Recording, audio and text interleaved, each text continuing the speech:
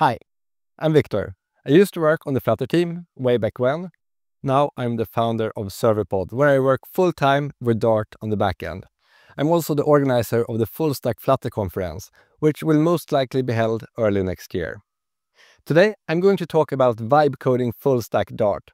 It's not just about how you build your front ends with Flutter, but also how you can build full stack apps with Dart. Let's first look at what vibe coding is. The term vibe coding was initially coined by Andrej Karpathy.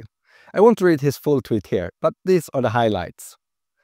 There's a new kind of coding I call vibe coding, where you fully give in to the vibes, embrace exponentials, and forget that the code even exists. I accept all, always. When I get error messages, I just copy-paste them in with no comment. Sometimes the LLM can't fix a bug, so I just work around it or ask for random changes until it goes away. That's the purest form of vibe coding, but there are a few different definitions. Depending on who you talk to, you'll get different takes. Some focus on the pure form, where you only prompt and never look at the code. The next level is prompting, reviewing the code and occasionally doing manual fixes. Then some developers talk about vibe coding as just advanced autocomplete, like what you get in tools such as Cursor. We're all developers here, so I don't think we're too afraid to look at the code. We'll focus more on the middle definition. You prompt, you review, and you ask the AI to correct. And you occasionally do manual fixes yourself. Which tools should we use for this? There are plenty and they change all the time. You have Cursor, Gemini CLI, Codex, Claude Code. Some tools like Dreamflow or Firebase Studio aim to be the most vibey, where you never even have to look at the code, just the output. In this talk, we won't focus too much on the tools themselves, because tools change constantly. Instead, we'll focus on the principles. Just like when you learn to program, it's more important to learn the principles than focus on a single language. Once you know the principles, you can switch languages easily. It's the same here. Focus on principles, not specific tools. Personally, I've experimented the most with Cursor, Gemini CLI, and Codex. Cursor is the one that I've had the most luck with. One of the most important principles is context. Context is everything in vibe coding. The models only know what they've been trained on. They don't know your codebase, new frameworks, or your specific project. All that needs to be provided in the context we give them. Context is basically all the information we send to the model alongside the prompt. LLMs don't have a real memory, so we need to keep that memory alive ourselves. The better context we provide, the better code we will get. But note, the longer the context, the worse the performance. These numbers are probably six months old, but still relevant. If you've worked with ChatGPT, you know that when it drifts off track, it rarely recovers. That's because of how context is handled. As you can see in this graph, performance already starts to deteriorate at just a few thousand tokens. Imagine what happens at millions of tokens. So keeping context short is important to maintain good performance. But how do we provide context? There are a couple of ways. First, the agent will look through some of our project files to learn about what we are building. Second, you can provide a product requirements document or a PRD together with an implementation plan. Third, you can provide an agents.md file, which contains initial instructions and rules provided to the agent. And then there are MCP servers, Model Context Protocol servers, which can provide additional context. Let's start with the product requirements document. This is where you collect all the overarching information about your project. I typically use the agent to help write this as well. For example, to build an app for managing the full stack Flutter conference, I wrote, Write the product requirements document, or a PRD MD. I'm building a conference app with Flutter and Serverpod. I want to have three types of users, attendees, speakers, and admins. Then I obviously added all the other details about the app and the features I wanted. The agent will output a draft PRD, but you need to make sure it includes the right things. So, what do you need in your PRD? A description of your app and features as detailed as possible. Then, the technologies you'll use, any design and UX considerations, any special data models or project structures you want to use. When you have this in place, you can create an implementation plan. I usually have the agent generate the plan based on the PRD. For example, I'll say, I'm building an app. Look at the requirements in the prd.md and make a full step-by-step -step implementation plan, a plan.md document. Include a checklist for each step at the end. This produces a plan.md with steps and checklists. The checklist is super useful because the agent can check off steps as it goes, which gives it a kind of memory for where it left off and what's next. Let's talk about the agents.md file.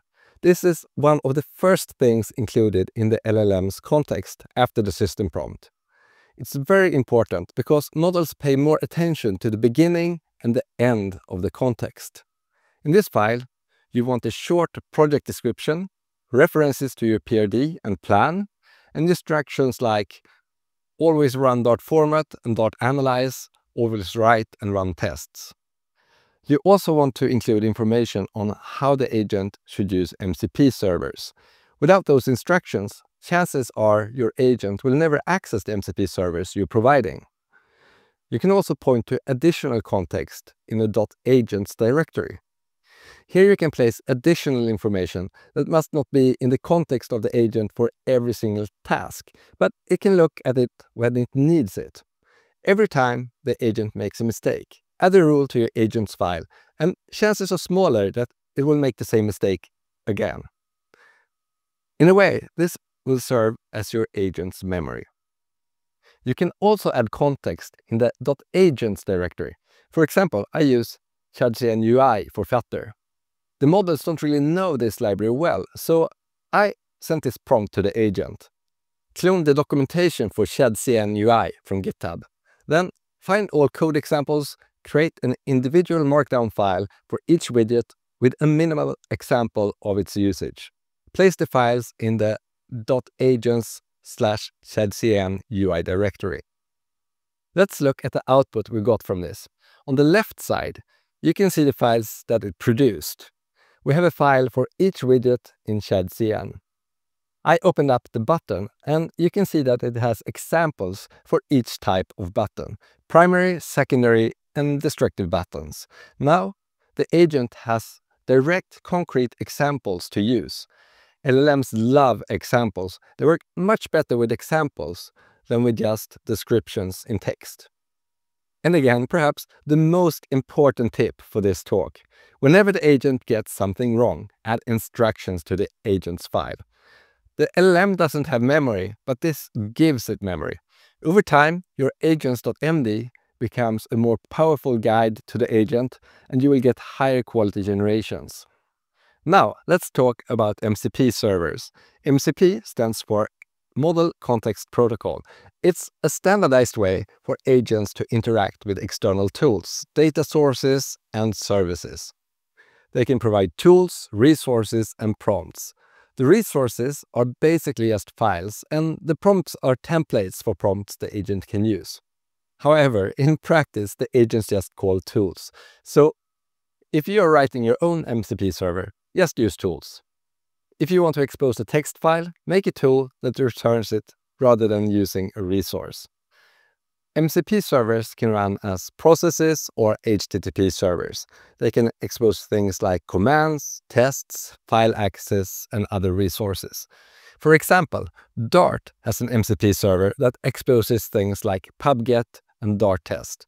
In practice, the agents can call the command line tools directly, so actually provides pretty little value at this point.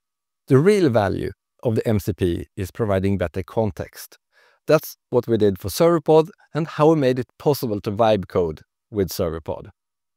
If you haven't heard about Serverpod, here's a quick summary. Serverpod is an open source, scalable backend framework written in Dart for Flutter. The way it works is simple. You create an endpoint class with methods. Serverpod analyzes your server code and generates a type-safe client. In your Flutter app, you call server methods as if they were local methods. Pretty cool. The whole API is generated. You don't have to worry about building APIs or serialization. In this example, we create a hello method in an example endpoint. We run serverpod generate, and now we can call the method from our Flutter app. You can return not just basic objects, but also complex serializable objects or streams. Serverpod handles real-time communication with Dart streams under the hood over WebSocket. It manages the lifecycle of the WebSocket and routes calls automatically. Serverpod is scalable. It's great for hobby projects, but can scale to handle millions of users. You can deploy to any server that can run Dart or Docker. And we're building a Serverpod cloud for zero configuration deployments with auto-scaling, load balancing, domain names, and certificates. Serverpod is also built with AI native apps in mind, with support for vector databases and retrieval augmented generation. And of course, we made it great to use with code generation. Serverpod comes with batteries included. It has support for Postgres through its ORM, with relations, joins, and migrations. It handles authentication, caching, health checks, logging, file uploads to S3 or Google Cloud, scheduling tasks with future calls, and streaming data. It has a great testing framework for creating integration tests. It's a really smooth developer experience. To make it easier to learn Serverpod, we built StarGuide. StarGuide lets you chat with your documentation. It uses a vector database and retrieval augmented generation to find relevant documentation and GitHub discussions, then it crafts an answer. It's all open source if you want to see how we did it. When building our MCP server, we connected it to StarGuide. Now, when you use an agent like Cursor, it can connect to the MCP server which can in turn ask StarGuide questions in natural language. StarGuide will look up relevant information and pass the answer back to the MCP server, which in turn passes it back to the coding agent and uses as part of its context. This hugely improves the performance of the agent, making Serverpod vibe codable. Alright, let's go with the vibes. How do you do the actual prompting? First, pick the right model for the job. For me, ChatGPT 5 works really well with Flutter and Dart code, though it's very slow. For quick tasks, I sometimes use smaller, faster models like Grok, they tend to go wild on bigger tasks, and there will literally be crazy code all over the place. Generally, you will get better performance if you break things up into smaller steps. When you're building code, do it incrementally. Review the generated code if it's just a prototype, maybe it's fine, but for real code, you need to review and either fix it or reprompt. Sometimes it's faster to fix manually than to keep prompting. Don't get stuck in a reprompting loop. Fix things manually if it's faster. Vibe coding is about improving our productivity after all, right? Finally, keep improving your context. Update your agents.md add examples, extend your MCP server. The reality is LLMs make a lot of mistakes.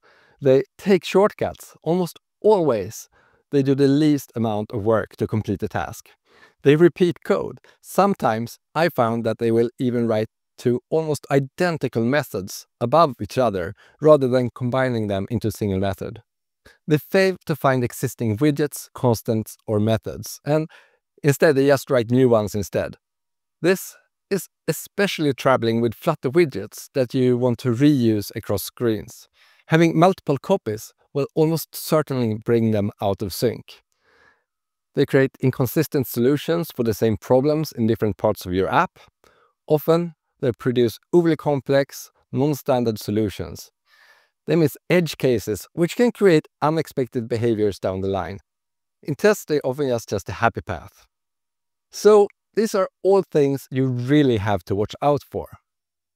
Here are some examples of what I have vibe coded. First, I built Cupertino Native as a proof of concept. When Apple released Liquid Glass in iOS 26, all the React Native bros came out to declare Flutter dead. I wanted to see if I could bring this effect into Flutter using platform views. I've never done platform views before, and I'm not a Swift developer, perfect candidate for vibe coding. After a weekend, I had a working proof of concept, and it's running at 120 frames per second with dozens of components on screen. Not production ready yet, but impressive and something that would have taken me weeks to do manually. Next, I'm building an app for our full stack Flutter conference. Last time we used Google Docs and Forms, and it was painful. This time I'm vibe coding an app with Flutter and ServerPod. The app manages speaker submissions, organizer and moderators can rank and approve talks, and create a schedule for the conference. I made it a challenge to never touch the code. When the code generation failed, I either improved the ServerPod MCP server or added rules to the agents file. Now it works end-to-end, -end, back into front-end. So, is it worth it? For things like UI scaffolding, backend glue code, writing tests and repetitive tasks? Yeah, it speeds you up. It's also great for prototyping. You can get stuff out really fast if you don't care too much about the quality. But remember, you still own testing, debugging and security. Generated code can be messy. If you add too much bad code to your codebase, it becomes hard to maintain and the models will perform worse over time. And vibe coding can make you lazy. You don't want to lose your sharpness as a developer. So if something is faster to do by hand, do it yourself. Stay sharp. And what about the future? Will the machines replace us developers? I asked ChatGPT to make this graph, so take it with a grain of salt. Uh, on the x-axis, you have training cost. On the y-axis, you have accuracy.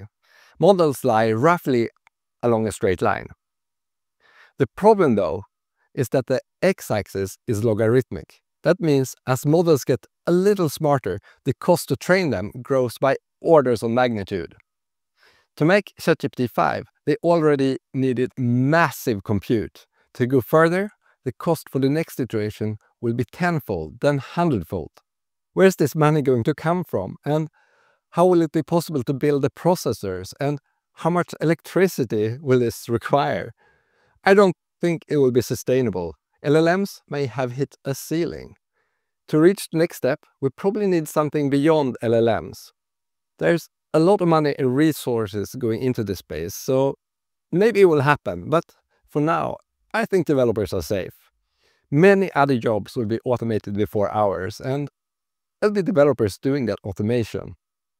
If you want to try all this out, you can find Serverpod MCP on pub.dev and you can find Serverpod at serverpod.dev.